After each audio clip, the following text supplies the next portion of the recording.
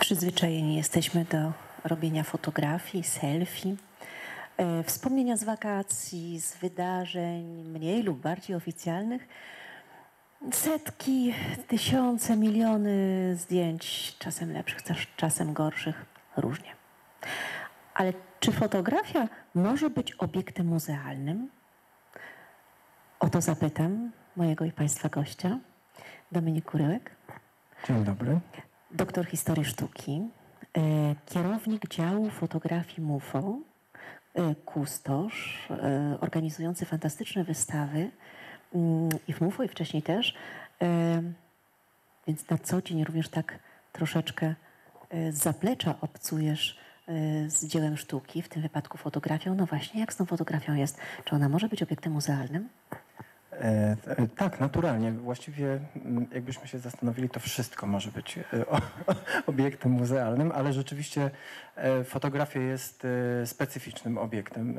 Tu powiedziałaś wcześniej, że wieloletni kustosz. Ja rzeczywiście pracowałem przez wiele lat, 11 lat w Muzeum Narodowym w Krakowie i tam byłem odpowiedzialny za sztukę współczesną, tak szeroko, szeroko rzecz ujmując. I po tych wielu latach zacząłem pracować w Muzeum Fotografii, gdzie mm, fotografia oczywiście jest obiektem muzealnym, ale fotografia jest specyficznym obiektem, który sztuką bywa, ale nie jest. E, sami mamy w naszych domach e, fotografie e, amatorskie, mm, może jakieś dokumentalne, gdzieś tam nam się trafiają, czy też w jakichś czasopismach je widzimy, ale nie traktujemy ich tak jak na przykład obrazu Jacka Malczewskiego, prawda?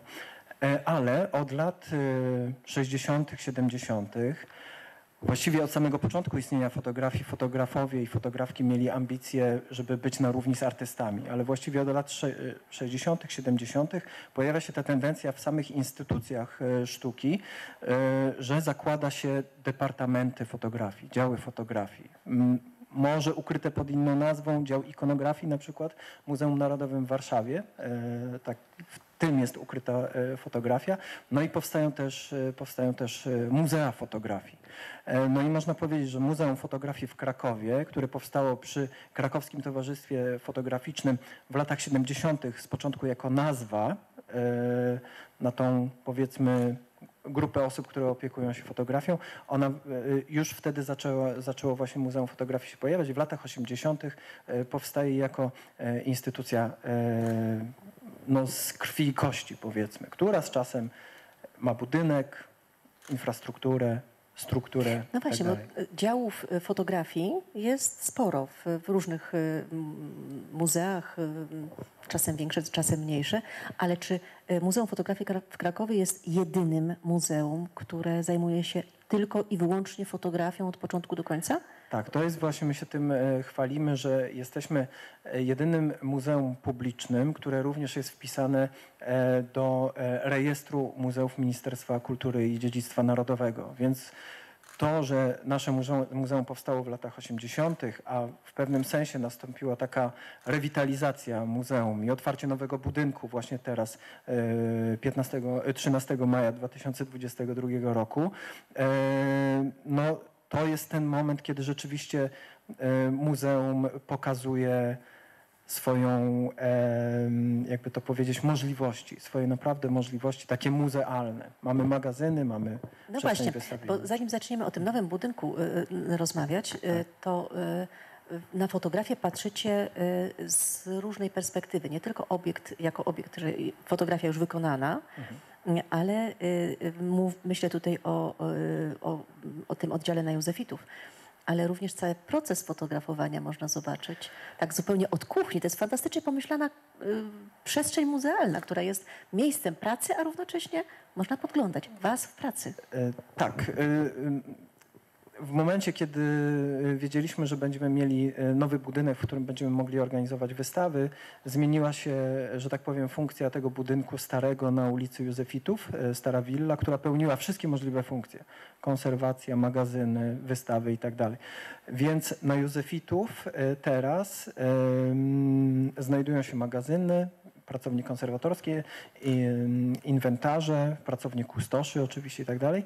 I ten budynek też jest tak pomyślany, żeby widzowie mieli możliwość zobaczenia tego, co my robimy w środku. Czasem e, niektóre drzwi niektórych pracowni e, są przeszklone, więc można zajrzeć. Szczególnie atrakcyjna jest e, pracownia konserwacji.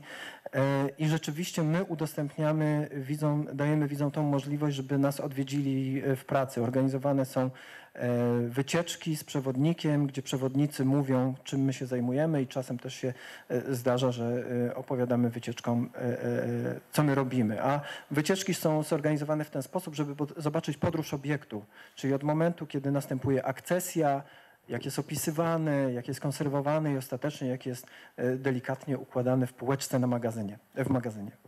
E, pracownia konserwacji oczywiście robi wrażenie, ale to są przestrzenie cokolwiek mi bliskie, więc e, na mnie osobiście największe wrażenie zrobiła ta przestrzeń studio fotograficzne. Wtedy, kiedy odwiedziłam Was, akurat były fotografowane zabawki. Mhm, tak. E, jakie możliwości ma to studio? Yy, więc mamy wszystkie możliwości, jeśli chodzi o dokumentowanie obiektów muzealnych. Zabawki to były zabawki z kolekcji e, Senków, rodziny krakowskiej, która od wielu, wielu lat zajmuje się właśnie kolekcjonowaniem zabawek. My oczywiście mamy zlecenia zewnętrzne, ale na co dzień pracownia digitalizacji MUFO zajmuje się dokumentacją tego, co my mamy, czyli dokumentacją fotografii, sprzętu fotograficznego. No i to jest w pełni profesjonalne, e, profesjonalne studio. I tutaj też e, zaznaczę ciekawą rzecz, że w muzeach zajmujących się właśnie sztuką, malarstwem, no, pracownie plastyczne oczywiście są, ale one bardziej zajmują się designem wystaw i tak dalej. A my mamy fotografów, którzy robią obiekty, które z czasem mogą stać się e, obiektami muzealnymi. się sobie obiekty. Tak. No i też jest ciekawa rzecz, tutaj się tak podzielę na marginesie.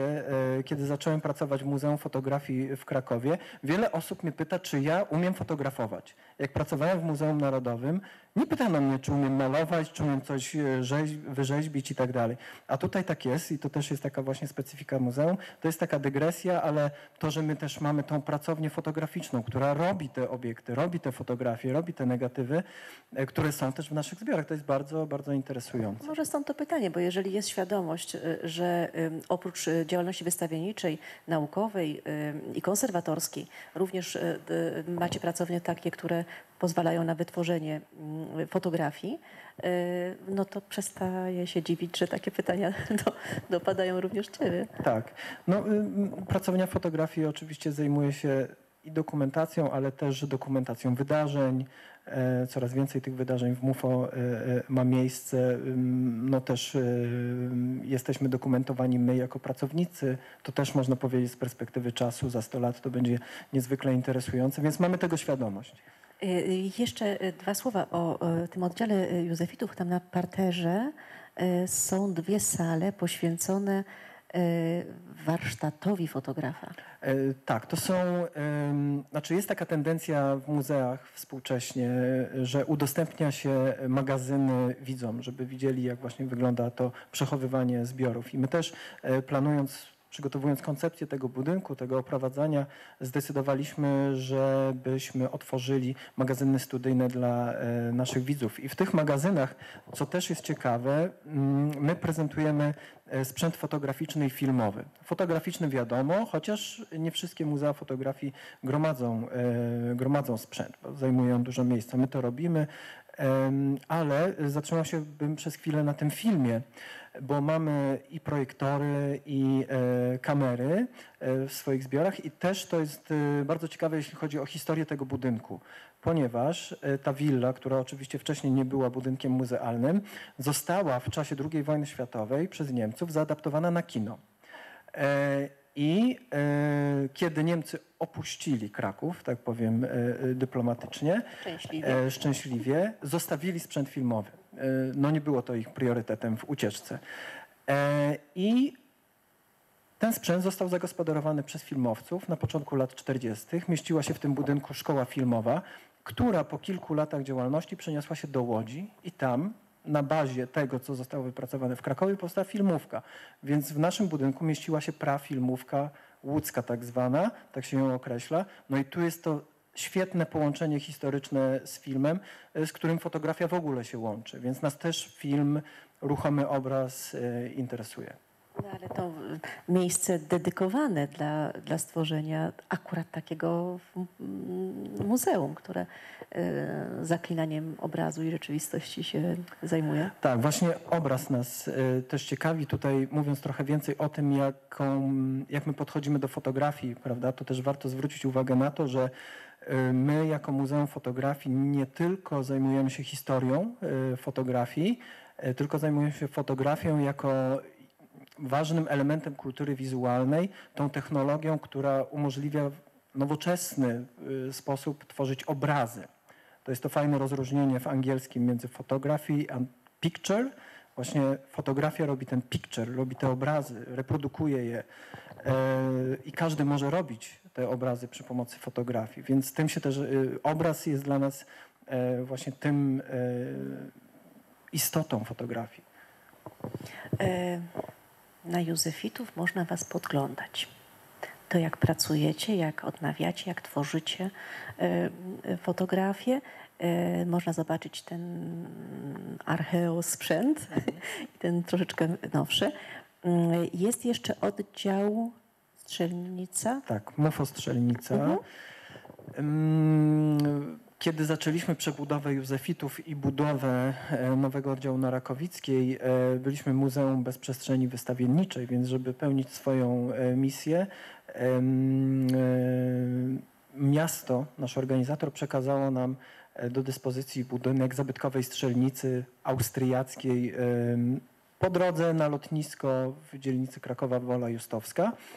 E, I e, tam została zorganizowana stała wystawa portret o portretowaniu się, bazująca na naszych zbiorach.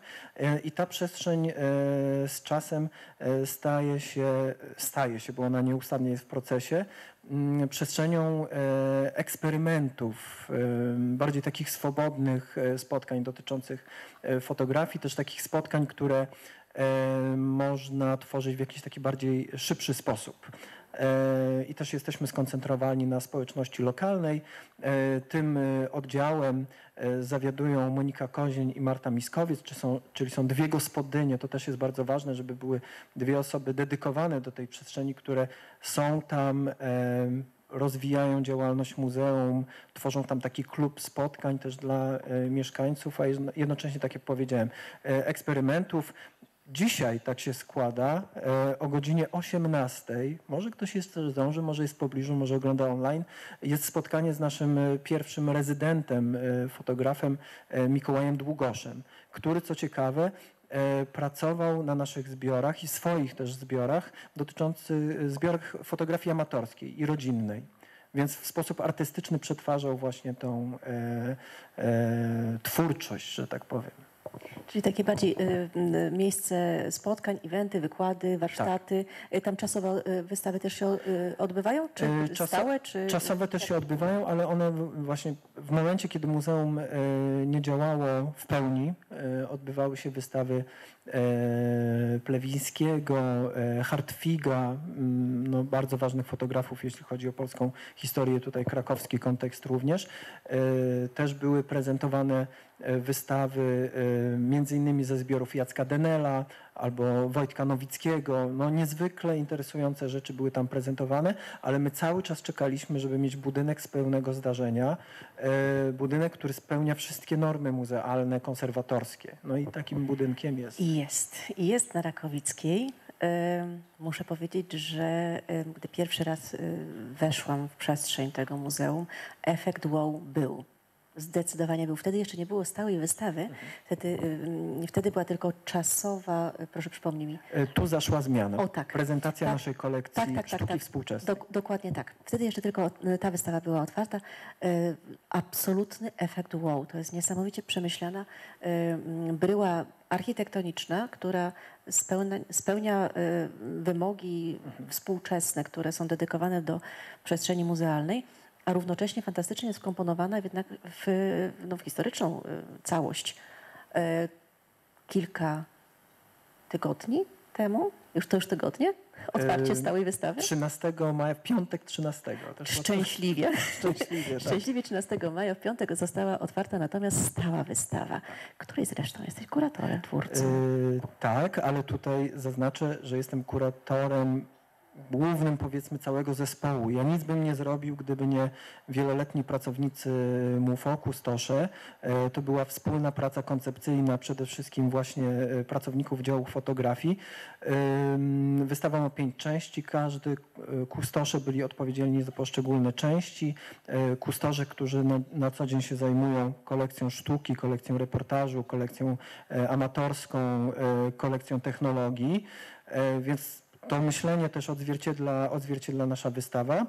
E, No i to chciałem zaznaczyć, że to jest jakby praca zbiorowa, też konserwatorzy ze względu na niezwykłą delikatność fotografii, e, wrażliwość na światło też brali w tym udział, e, edukatorzy, którzy również konsultowali się z Fundacją Bez Barier, żeby nasza wystawa była dostępna dla osób z niepełnosprawnościami. Edukacja i promocja, też nawet na poziomie projektu zastanawialiśmy się, jak osiągać efekt wow. Udało się. Tak, tak, tak, tak. Ym, Obejrzałam tę wystawę z olbrzymim zainteresowaniem i zupełnie przypadkiem trafiłam na oprowadzanie y, kuratorskie. Wtedy, wtedy prowadziłeś jakąś tą grupę przez, y, przez o- opowieścią, przez poszczególne y, sale, jedną, drugą, trzecią. No właśnie, skuś nas, żeby wszyscy mieli ochotę przyjść tłumnie do MUFO. y, Dobrze, więc ym, powiem tak, że nasza wystawa nie jest historyczna, chociaż na niej można zobaczyć e, wybitne przykłady e, z historii polskiej fotografii. E, Nasza wystawa traktuje fotografię właśnie jako bardzo ważny element współczesnej kultury. I kiedy pracowaliśmy nad koncepcją wystawy, co się odbywało przez kilkanaście takich warsztatowych, y, no warsztatów po prostu, e, chcieliśmy, zadawaliśmy sobie pytanie, po co jest ta wystawa? Po co ona ma być? Dla kogo? Co ona ma dać widzom? No i stwierdziliśmy, że mm, wydaje nam się, stawiamy taką tezę, że niewiele osób świadomie patrzy na fotografię w przestrzeni publicznej albo w ogóle na fotografię jako obiekt y, kultury. E, I chcielibyśmy, żeby mieli narzędzia nasi widzowie, żeby patrzeć na fotografię z różnych perspektyw. I jakie, jakie perspektywy nas interesują? Chcielibyśmy, żeby sobie po prostu zadawać proste pytania, kiedy się patrzy na fotografię. Jak jest zrobiona fotografia?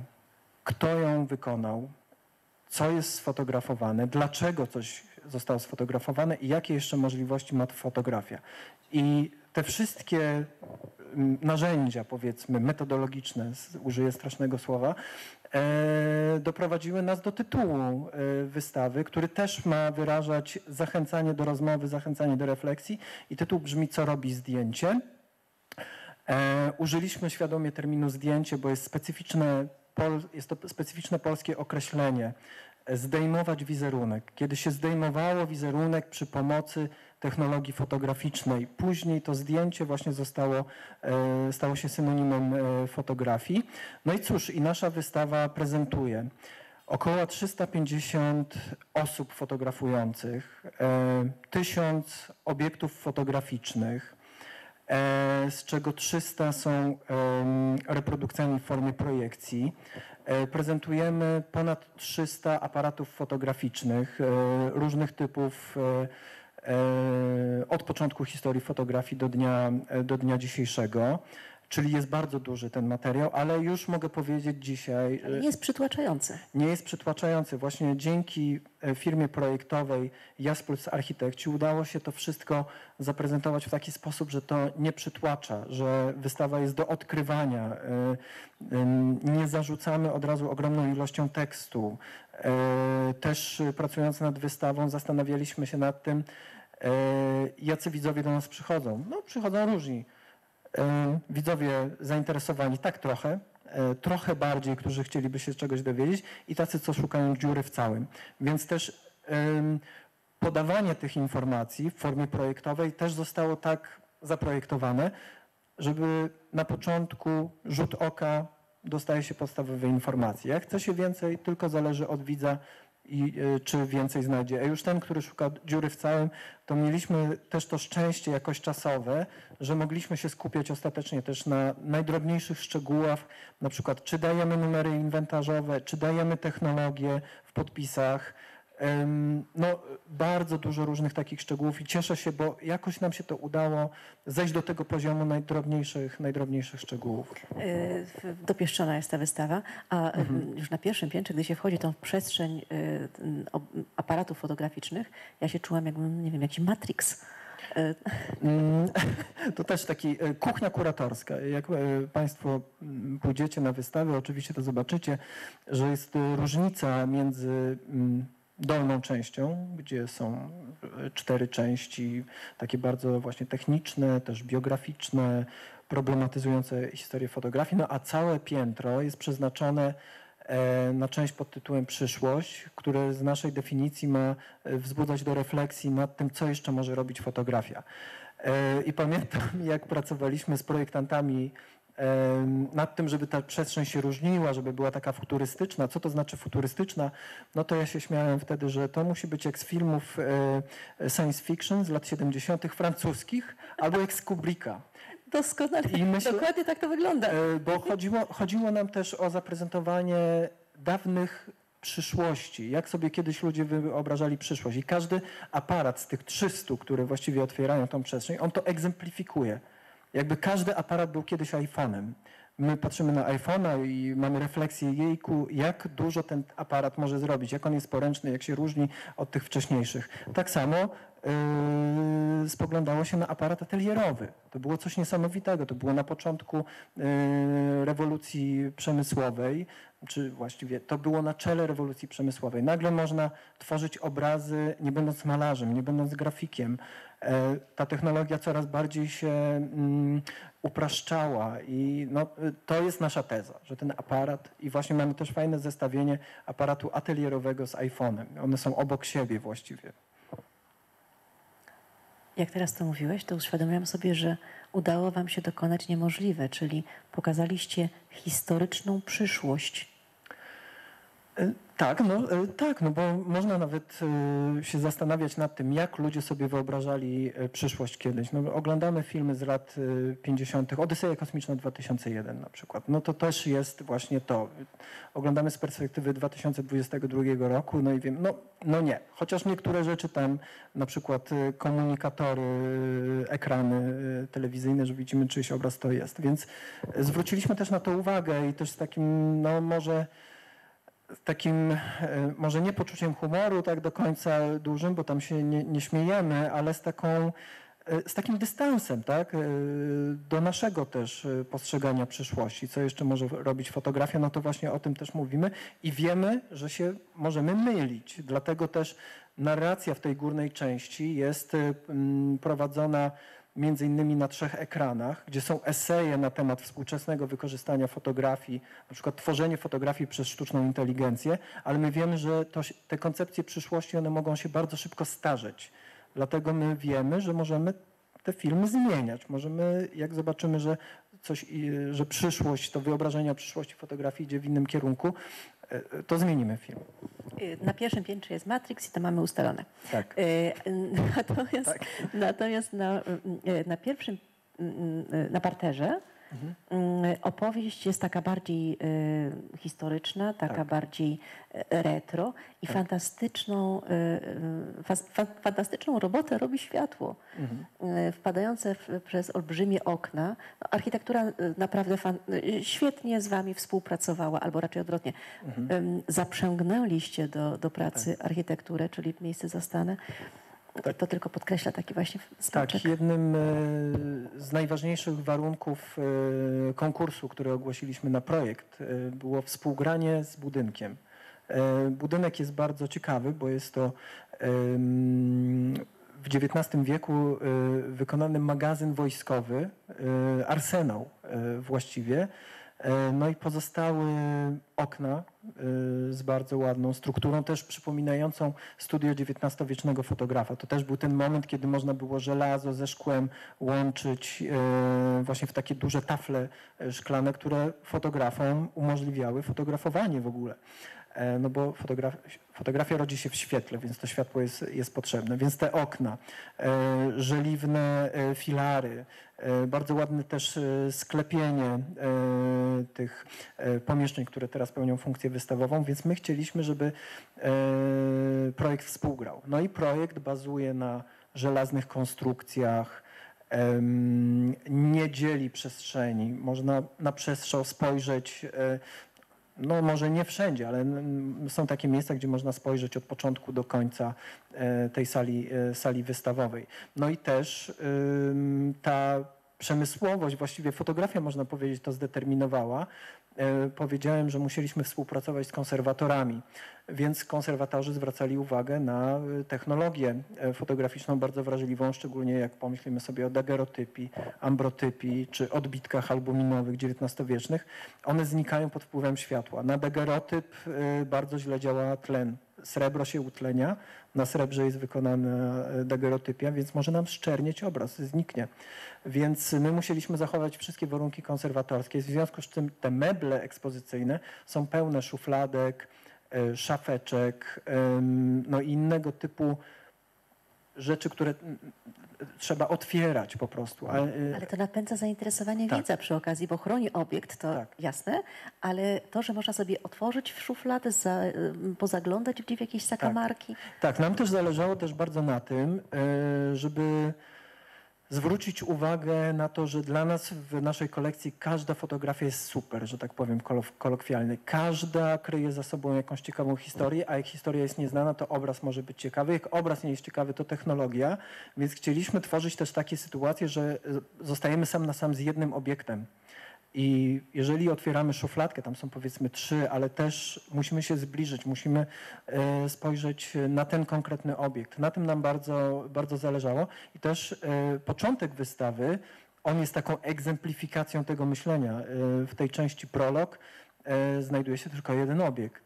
No i jest to negatyw kolodionowy z początku lat 80. XIX wieku, e, zdjęcie przedstawiające e, rodzinę, e, wykonane przez Walerego Żywuskiego, naszego patrona.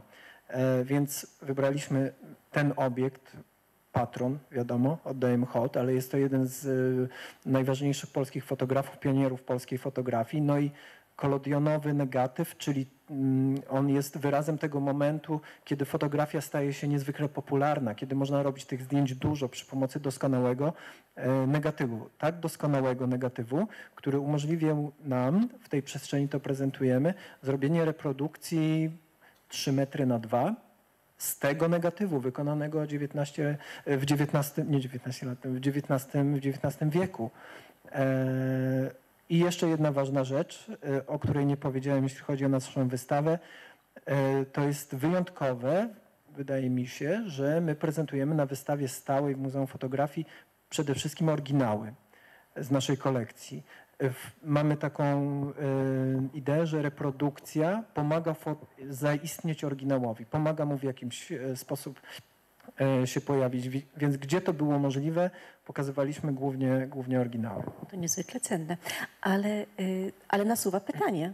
y, Bardzo wielopłaszczyznowo i z różnych perspektyw można obejrzeć y, zbiory na wystawie stałej.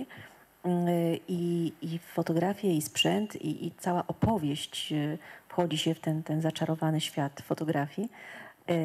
No właśnie, ale jakie jest, y, jaka jest polityka gromadzenia zbiorów? No bo żeby coś pokazać, no to trzeba mieć. Tak, tak, tak, tak. Ym, polityka. E, Tak się składa, że ostatnio sobie przygotowaliśmy taki dokument, gdzie określiliśmy e, nasze priorytety. Nim do nich dojdę, to tylko powiem, że to jest bardzo ważny dokument, ponieważ e, no my jesteśmy teraz e, w takiej sytuacji, że tych e, fotografii w ciągu jednego dnia powstaje e, więcej niż przez cały XIX wiek. Dużo więcej. E, Jedna osoba jest tak, Tak, wyprodukować bez e, problemu. Dokładnie, więc Muzeum, Muzeum Fotografii zajmuje się właśnie tym specyficznym obiektem, który powstaje w milionach codziennie. E, Więc e, jeżeli byśmy gromadzili wszystko, to, e, to jest w ogóle niemożliwe, żeby to opracowywać jeszcze w takim reżimie muzealnym. Jesteśmy instytucją publiczną, więc mm, dlatego najgorsze w tej całej pracy, a jednocześnie najciekawsze, no jest rezygnowanie. Y, Mówiąc, co kolekcjonujemy, to mówimy jednocześnie, y, czego nie kolekcjonujemy. Ale ja lubię sobie też y, myśleć taką metaforą drogi, że my sobie wyznaczymy kierunek, idziemy tą drogą, szukamy tego, co nas interesuje, ale jak zobaczymy złoto na boku, to nie miniemy. Schodzimy na chwilę, opiekujemy się, tutaj już wracając do muzeum, e, i idziemy dalej. Więc e, tak, więc e, mm, my też oddajemy hołd wieloletnim pracownikom, a też naszym poprzednikom, założycielom muzeum. Tak się składa, że w muzeum jest ogromna kolekcja fotografii amatorskiej, więc my kontynuujemy tą pracę. Ona jest największa w ogóle. Też teraz w mm, muzeach fotografii zastanawia się bardzo poważnie nad tym, jak zajmować się fotografią amatorską, dawną, ale i też współczesną, więc my też chcemy e, brać w tym udział. E, Interesuje nas oczywiście sztuka, bo jeżeli nas interesuje fotografia jako ważny element kultury, y, zmieniający naszą świadomość, to artyści są specjalistami w analizowaniu tego już od lat e, dwudziestych, y, czy tam od dwudziestolecia międzywojennego, więc my musimy to zbierać, jeżeli chcemy wiedzieć, o czym mówimy, jeśli chodzi o takie mm, krytyczne podejście do fotografii, obrazu, który ona produkuje. Gromadzimy oczywiście reportaż, dokument. Fotografia była reporte, reporterska i dokumentalna od początku, od e, swoich narodzin, a jednocześnie od początku ona informowała o świecie. E, I reporterzy, dokumentaliści do dzisiaj, do dzisiaj to robią. E, I tutaj też taki wątek edukacyjny nas bardzo interesuje, żeby nasze zbiory, nasze fotografie, e, nie tylko fotografie, ale żeby nasze zbiory, nasze kolekcje m, inspirowały interesujące dyskusje, dyskusje współczesne o współczes- współczesnych problemach e, e, na świecie, globalnie. Więc fotografia reporterska i dokumentalna jest do tego, do tego doskonała. Mamy również, co ciekawe, bardzo duży zbiór fotografii legionowej. To też się łączy z fotografią reporterską, bo początki właśnie reportażu, dokumentu i na świecie, i w Polsce łączą się właśnie z e, fotografią batalistyczną, tak bym powiedział, albo e, wojskową. Więc e, my mamy bardzo fajny zbiór, nawet na wystawie jest wypożyczany do Muzeum Narodowego w Warszawie ostatnio. Więc to chcemy rozwijać. Zwracamy, zwracamy uwagę i chcemy rozwijać tą kolekcję. No i mamy jeszcze kolekcję sprzętu fotograficznego, więc y, udało nam się zebrać przez wiele, wiele lat do naszej kolekcji sprzęt polski. Na przykład, czy wiemy, jakie były polskie sprzęty fotograficzne, aparaty tworzone po e, II wojnie światowej czy przed I wojną światową? My staramy się uzupełniać tą kolekcję. Y, Zbieraliśmy może to nieoczywiste y, sprzęt radziecki, rosyjski i mamy naprawdę y, porządny zbiór, y, nieomalże, nieomalże zamknięty. No i chcemy rozwijać też tą z Europy Wschodniej narrację, jeśli chodzi o, o technologię fotograficzną. No ale oczywiście interesują nas te, też te kamiele, kamienie milowe w historii technologii fotograficznej, te międzynarodowe. XIX-wieczne aparaty, Kodak, aparaty Kodaka, Brownie, ta Leica, ym, aparat, który zrewolucjonizował również y, robienie, robienie zdjęć. Więc no, tak to się przedstawia i co ciekawe, w dokumencie, o którym wspomniałem, e, kiedy się e, realizuje, e, przygotowuje politykę gromadzenia zbiorów, trzeba brać różne, e, pod uwagę różne, różne rzeczy i e, też zdarza się, że my musimy decydować, czego nie chcemy przyjmować, e, albo czego chcemy się pozbyć. Straszne słowo, jeśli chodzi o muzealników, ale fakt, takie rzeczy się dzieją. Wy, Generalnie pozyskujecie, prawda? Tak. Jak, y, y, z- w jaki sposób pozyskujecie? Y, Zanim o, zanim o, y, o wyśmiecaniu, nie bójmy się tego słowa, to jest takie... e, zanim o tym, muze- najpierw, najpierw pozyskajmy. E, tak, więc w jaki sposób y, Więc pozy- pozyskuje pozyskujemy w ten sposób, że zgłaszają się do nas e, różne osoby, które chcą nam oferować e, różne obiekty. I to jest też bardzo ciekawe, bo naprawdę osoby prywatne mają swoje aparaty i tak dalej i przychodzą, żeby się poradzić, czy coś jest ważne, warte czegoś, albo nie chcą tego wyrzucać na śmieci, czy może lepiej e, do muzeum. Tutaj muszę powiedzieć, że bardzo, bardzo ważnym źródłem e, naszej rozwoju naszej kolekcji jest e, spuścizna po krakowskim Towarzystwie Fotograficznym, które założyło Muzeum Fotografii. E, I ta spuścizna nie jest do końca opracowana, nie jest oficjalnie jeszcze przyjęta do muzeum.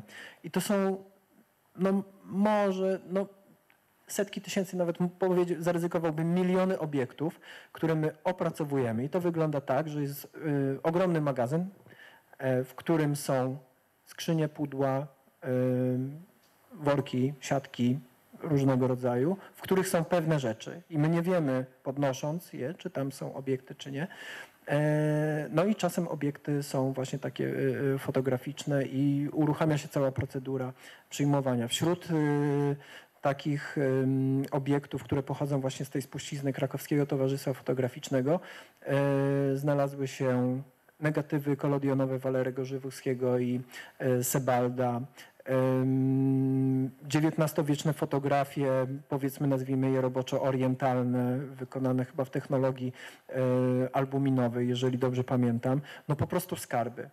A jaki jest najstarszy obiekt, taki y, chro- chronologicznie No, najstarszy to jest, y, znaczy jeżeli byśmy mówili stricte o fotografii, bo mam jeszcze grafiki różne też, historia foto, y, kolekcjonowania, ale fotograficzny dagerotyp oczywiście z lat, żeby nie skłamać, 60.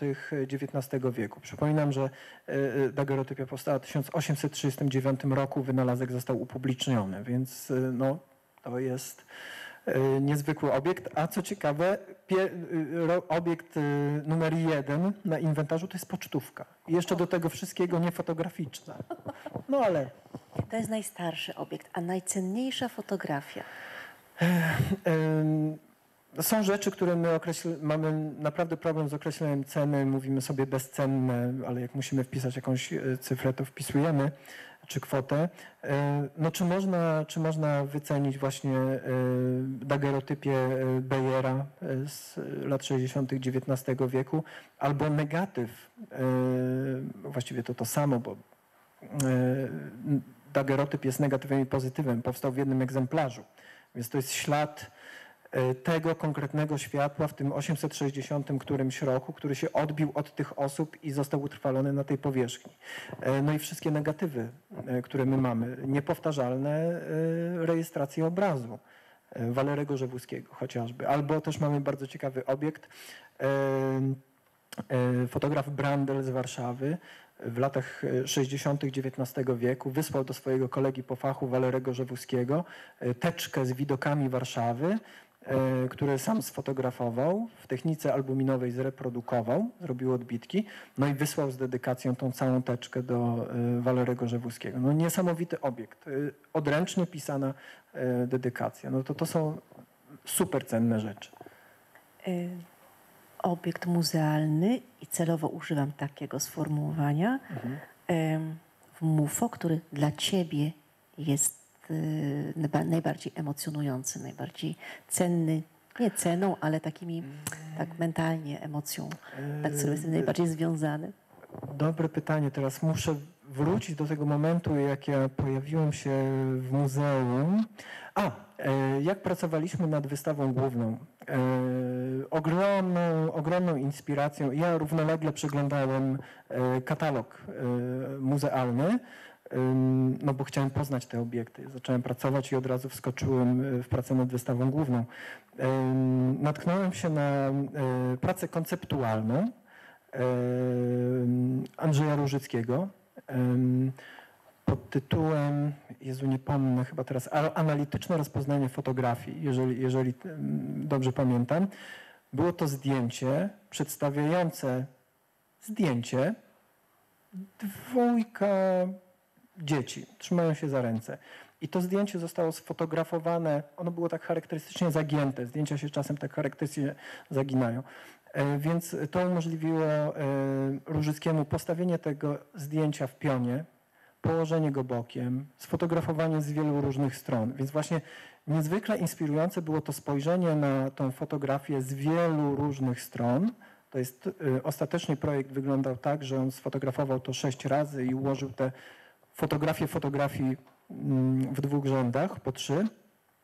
No i to pokazało, że fotografia jest czymś materialnym, ale jednocześnie ten obraz, który na tej fotografii fotografowanej był, on był niezwykle uruchamiający ten sentyment, że ja też kiedyś byłem sfotografowany jako dziecko, patrzę na swoje zdjęcie z jakąś tam nostalgią, więc ta wrażliwość, a jednocześnie ten konceptualny, taki mocny, taki taki dryk tego artysty, który mówi, no ale tak naprawdę to jest tak e, przedmiot tylko ta fotografia, ale nie tylko. więc, więc niezwykle inspirujące. I w ogóle y, jeszcze miałem okazję y, wystąpić na sesji, i, y, której tematem była między innymi twórczość Różyckiego, i zauważyłem, że on był niezwykle hojnym donatorem, jeśli chodzi o nasze muzeum. Podarował nam masę swoich prac, które dotyczą mniej więcej tego, o czym mówiłem w przypadku tej e, fotografii. Fotografia jest częścią naszego życia, jest przedmiotem, ale też y, budzi nostalgię, emocje i tak dalej. Więc no, niezwykła postać, niezwykłe, niezwykłe zdjęcie, bardzo inspirujące. Czyli masz swoje ulubione zdjęcie. Tak. E, gdy mówiliśmy o, e, e, o kolekcji całej, o mhm. pozyskiwaniu, właściwie gdy mówiliśmy o pozyskiwaniu, to twoja opowieść układała się w takie zbiory już mhm. wyodrębnione. To, one już są wyodrębnione, że... Tak, my sobie wyodrębniamy te zbiory i są kustosze kolekcji. Mhm. Właściwie jak przygotowywaliśmy politykę, to też była praca zbiorowa, gdzie kustosze wyznaczali pewne kierunki znaczy określa się kolekcję i w ramach tych kolekcji jeszcze dodatkowo się określa e, kierunek, a nawet praktycznie się pojawiają e, imiona i nazwiska albo dzieła, które, które, nas, e, które nas interesują. No, nie chcę tu zarzucać tymi e, nazwiskami, ale mamy też, bo to też taka trochę jest strategiczna tajemnica, czasami nie mówi się, żeby nas inne e, instytucje nie ubiegły, chociaż staramy się współpracować z instytucjami i innymi gromadzącymi fotografie i nie powielać roboty. No ale kustosze mają swoje preferencje i, e, i w tym kierunku zmierzamy. Ale tak jak mówiłem, jak zdarza się złoto, propozycja, też jest zapis taki w polityce gromadzenia zbiorów, że dyrektor ma prawo e, działać niezgodnie z polityką gromadzenia zbiorów, jeżeli to wymaga, e, tego wymaga sytuacji. Więc jest ten wytrych. No. Jeżeli jest samorodek, to się go nie omija. Tak, tak. A czy te kolekcje tworzą jakąś opowieść? To na pewno.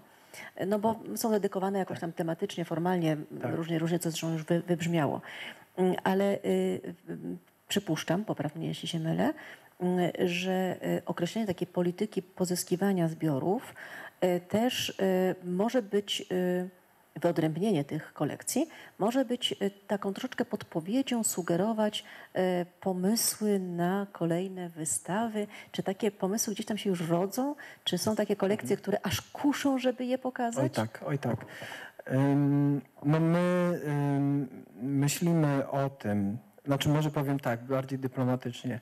E, nie oczekuję, że będziesz zdradzał Bo nie chcę, nie chcę zdradzać, ale nie chcę zdradzać. Ale y, kiedy się zastanawialiśmy nad tym właśnie jak muzeum ma funkcjonować, jakie wystawy y, mają być propagowane, no to naprawdę jest y, ogromna potrzeba sprowadzania, może powiem o tym, co robimy najpierw, co chcielibyśmy sami. No propagowanie po prostu polskich fotografów i fotografek. Nie, nie wszyscy wiemy, jak cenną spuściznę fotograficzną my mamy tutaj e, w Polsce, więc bardzo nam na tym zależy. Teraz będzie zorganizowana następna wystawa, o tym mogę powiedzieć. Będzie miała tytuł Fotografika I e, fotografika, czyli. Zbiorowisko? Tak, czyli fotografia artystyczna w Polsce od 1928 roku do 1978. Wystawę przygotowuje Adam Mazur, doskonały specjalista od fotografii w Polsce, i Łukasz Gorczyca, też specjalista od fotografiki czyli takiej estetycznej odmiany fotografii, która bardzo blisko jest sztuki, czy zasługuje na nazwę sztuka artystyczna.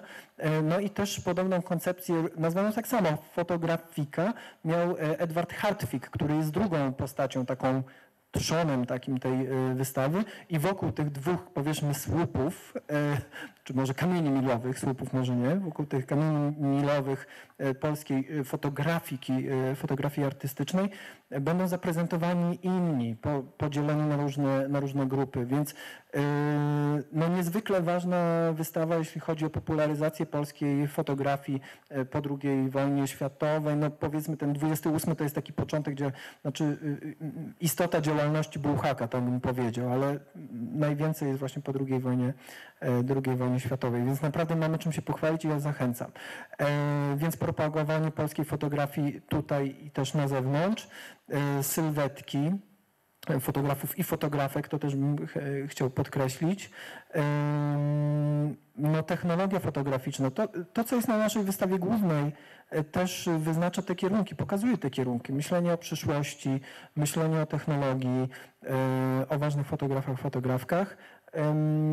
I, i tak, i, i właśnie, o czym świadczy wystawa Zobacz Brytania, tworzenie kontekstów, porównań dla naszej fotografii tutaj lokalnie. Czyli oglądając dokument e, fotograficzny brytyjski od lat 60. do współczesności, my możemy sobie to porównać z tym na przykład, co mamy na wystawie, a mamy na wystawie chociażby fotografię Rafała Milacha, dokument e, z cyklu Czarne Morze Betonu o Ukrainie. Więc e, no, możemy sobie to wszystko e, porównywać. Bo to jest najnowsza czasowa wystawa, której Tak. swoją drogą też jesteś kuratorem, tak? Tak się złożyło, nie jest to żadna megalomania. Miało być tak, że Ciężka praca. tak, ze względu na COVID różne problemy. My chcieliśmy otworzyć wystawę główną razem z wystawą pod tytułem Tu zaszła zmiana, która to wystawa prezentowała naszą kolekcję sztuki współczesnej zbieranej od 2017 roku. E, Tak, tak, tak miało być. No, y, zamknęliśmy wystawę Tu zaszła zmiana w, tuż po wernisażu wystawy głównej, więc te dwie wystawy razem zaistniały, a później wskoczyła ta fotografia e, brytyjska. No i tak e, nam się harmonogram przesunął, że tak, jestem e, powiedzmy na czele zespołu kuratorskiego wystawy głównej i współkuratorem wystawy Zobacz Brytania, bo kuratorem jest Ralph Gertz, który wymyślił tę wystawę, zebrał pracę, a od, do nas należało zrobienie selekcji z jego selekcji i opowiedzenie historii w taki sposób, żeby dla naszych widzów tutaj e, było to e, interesujące. Więc wspólna praca właściwie. Kilka razy padły w naszej rozmowie nazwiska, konkretne Tak. nazwiska, również y, takie, taka, takie dookreślenie tej, tej przestrzeni, którą chcecie się zajmować i z którą się już zajmujecie, czyli mm, opowieści o fotografach, o fotografkach.